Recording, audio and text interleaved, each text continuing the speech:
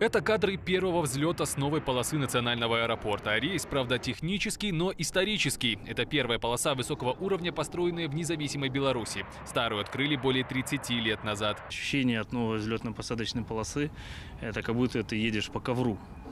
А настолько она мягкая, настолько она ровная. У штурвала сам директор департамента по авиации. Ответственность, да и гордость. Взлетели и сели дважды с обеих сторон. Тесты показали, новая взлетка готова. Если сейчас мы приближаемся к, э, цифре 5 миллионов а, пассажиров, уже вплотную к ней приблизились, да, а, то мы для себя ставим по удвоению этого пассажиропотока. Мы все прекрасно понимаем, что пассажир всегда выбирает своим кошельком.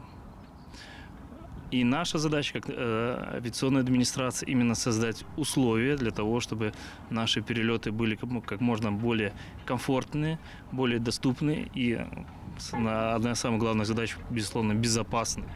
Всем известно, самое сложное в полете – взлет и посадка, поэтому эти почти 4 километра бетонки на особом контроле. На метровой подушке из щебня и специальных прослоек уложен полуметровый слой бетона отечественного производства, а посадочные огни при ясной погоде видны за 20 километров. Вторая взлетно-посадочная полоса всего на 60 метров длиннее первой, но благодаря широким рулежным дорожкам аэропорт здесь может принимать воздушные суда абсолютно любого размера. Мы сейчас с вами находимся именно в той точке, где самолет останавливается перед взлетом. Направление обозначено как 13Л, но в аэропорту уверяют, суеверием здесь не место. Место математики. 13 – это обозначение угла в 130 градусов, курс посадки. Вторая полоса, понятно, это большая загрузка для аэропорта, но в то же время работу диспетчеров она облегчит. Во всяком случае, пассажиры это почувствуют в час пик. Очереди на взлет ждать не придется. Нам нужно создать безопасный интервал между воздушными судами.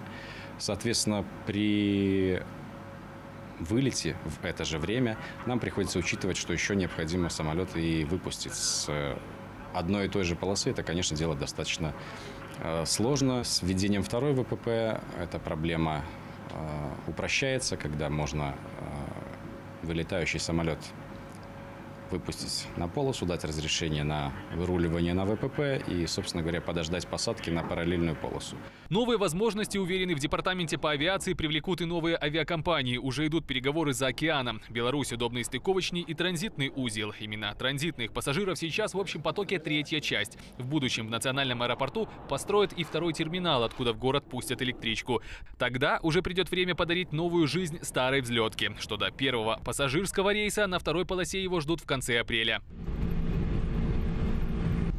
Сергей Козлович, Ксения Коневцева и Виталий Гончарик. Наши новости ОНТ.